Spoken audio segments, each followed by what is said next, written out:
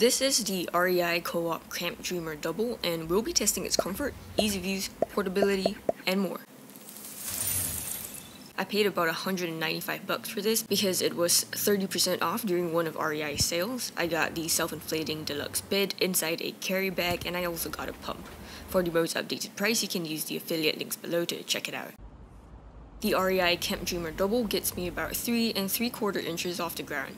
When inflated to my personal preference, which is a little bit softer, my body does not touch the ground whether I'm sleeping on my back, stomach, or side. When I was leaning on my elbow and sitting down though, I could feel the ground a little, but it was still pretty comfortable because of all the foam inside. If I make the Dreamer Double really firm though, I can't feel the ground in any position, even when sitting down. I like it a bit softer because then the foam of the Dreamer Double contours to the shape of my body and gives my body plenty of support. But even when it was very firm, it never felt too stiff and was also pretty comfortable. The REI Dreamer Double measures about 81 by 54 inches, which is slightly smaller than a queen size in width. For me, I found that it fits two people very comfortably, and the 81 inches in length is also great for taller people. The side walls are vertical, which maximizes sleeping space. The sleeping surface is flat, not baffled. The polyester top fabric is also soft against the skin and is not noisy when moving around in bed. As for bouncing, it's very minimal even when there's another person sharing the mattress, which is one of the benefits of having a self-inflating mattress instead of an air mattress. The REI Camp Dreamer Double has two valves along the sidewall of the foot of the mattress, which are kind of flushed with the surface. Both valves are exactly the same and have both inflation and deflation functions. To inflate the REI Dreamer Double, unscrew the caps of both valves and turn them to the side that says inflate. This is a one-way valve that lets air in but doesn't let air leak out. I usually leave the Dreamer Double for about 10 minutes and it'll inflate to maybe about 85% of the maximum firmness. After that, I attach the open end of the included pump to one of the valves. You will hear it pop into place, then make sure the other side of the pump also says inflate, and pump about 10 times to fully inflate the Dreamer Double. This takes about 1 minute or so. You can pump it less if you like it a bit softer. Then I remove the pump and screw the caps back on tightly.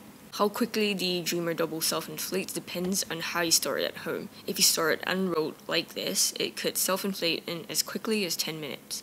If you keep it deflated and stored in a stuff sack like this for weeks, maybe even months at a time, like I do because I don't have a lot of space at home, it takes maybe 20 minutes. Could be more if you store it for much longer. Oh, and it'll self-inflate less, maybe 60-70%, so you'll have to manually pump it up more. For a slightly quicker inflation, I sometimes position both valves sideways like this, which allows for more air to flow in. But do remember to flip it back to the inflate side when topping it off with air and before screwing the caps back on. To release some air from the Dreamer Double to make it a bit softer, just unscrew the caps of one of the valves and push it in slightly to let out some air. To deflate the REI Camp Dreamer Double, unscrew the caps of both valves again and turn them this time to the side that says deflate. Then I fold the Dreamer Double in thirds, use my body weight to push the air out, and then half it to get as much air out as possible. This usually takes me about one and a half minutes or so. Folding it up properly will take another three and a half minutes, and I'll show you how to do that later. So the full deflation usually takes me about five minutes. If you forget any of this, there are instructions about the belts on the mattress itself, which is really neat. The REI Dreamer Double comes with a convenient carry bag. It's not exactly oversized, but it fits the mattress bag in easily, even if it isn't fully deflated. It's big enough to fit the pump as well, and I like to deflate the pump for easier storage. The carry bag also has a shoulder strap for easy carry. After deflating, the smallest pack size I could get the REI Camp Dreamer Double down to is about 29 by 15 by 12 inches. Here's what it looks like back in the carry bag beside the deflated included pump and a 32 ounce Nalgene bottle.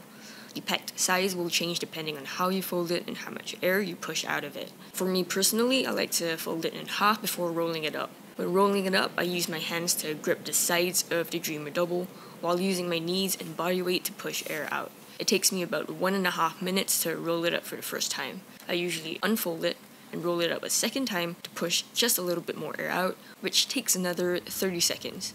Then I put the straps back on before standing it up and placing it back into the carry bag, which is another one and a half minutes. The REI Dreamer Double weighs 11.6 pounds for just the mattress alone. The pump weighs 11.8 ounces and the carry bag weighs 10.4 ounces. The REI Camp Dreamer Double has an R value of 6.5, so it's well insulated and can be used for all seasons, including winter. Unfortunately, I did not get to test this out, but the reviews seem to show that it's well insulated and was warm even in temperatures down to 30 degrees. I used the Dreamer Double only in summer temperatures between 60 to like 80 and never felt too hot even in higher temperatures. It's so enormously heavy that backpacking is out of the question, so you're limited to car camping. The included pump also doubles as a pillow, and I usually inflate it before using it as a pillow. Not the most comfortable camping pillow that I have, but it's okay, and it's better than no pillow. Here's what the Dreamer Double looks like inside a Coleman 2-person Sundome tent. The length of the Dreamer Double extends from one end of the tent to the other, so when inflating, there's no space to attach the included pump to the valve to add more air in.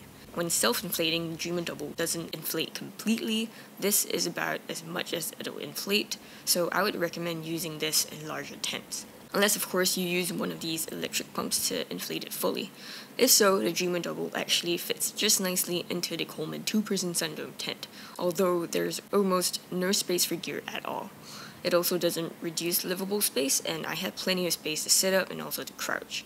And here's what the REI Dreamer Double looks like inside a Coleman 4-person dome tent when placed horizontally. And here's the Dreamer Double placed vertically inside the tent. There isn't enough space to fit two of these mattresses, but having just one mattress gives me plenty of space for my camping gear. I also have lots of livable space and can almost stand up. The REI Camp Dreamer Double is made of horizontally cored, self-inflating foam with welded seams. The top is made of polyester, which feels smooth and very soft, while the bottom feels less smooth and more rugged. When I first inflated the Dreamer Double, I found the mattress plush and comfortable. However, on the first night that I slept on the Dreamer Double, it lost all of the additional air that I pumped into it within one or two hours, and I found myself sleeping on just the foam. But I was too tired to get up, so I actually slept on my back through the night without topping it off with air. The foam of the Dreamer Double is very thick, so it's actually sort of comfortable even after losing air. When I tried to find a leak, I could hear air leaking around one of the valves, and because the Dreamer Double has quite a few negative reviews about leaky valves, I assumed it was a valve that was faulty and that the turning of the valve did not give it a very tight seal. So I tried all kinds of things to stop it from losing air, but every night the Dreamer Double kept losing air. Eventually I realized the problem. There were two holes in the mattress very near to one of the valves. Once I patched up the holes, air retention became good, and I slept on the REI Dreamer Double with another person three nights in a row without having to top off any air at all. The high flow TPR valves of the Dreamer Double did not leak for me because I made sure to align the valves properly and also to tighten the screw-on caps on the valves.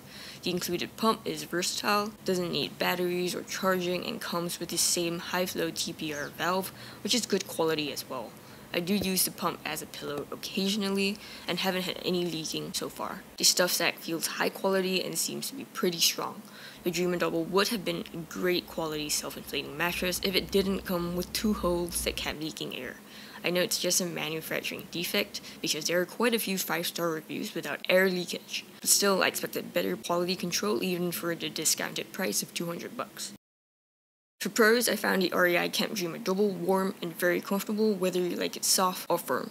It's very plush and bouncing is minimal, which is important when two people are sharing a bed. It's almost a queen size, which is great for those who are taller and those who prefer bigger mattresses. It's also relatively inexpensive for a self-inflating camping mattress when it goes on sale. I think the Dreamer Double is one off, if not the least expensive big name self-inflating mattress for the size. Inflation is also super easy. If you found this helpful so far, please help me hit that like button. Thank you, and I really appreciate it. However, for cons, deflation is not quite so easy. For me to deflate the Dreamer Double on my own, it's a mini 5 minute workout. It'll be much easier with two people for sure. It's also very, very bulky, even after I try to squeeze out as much air as possible.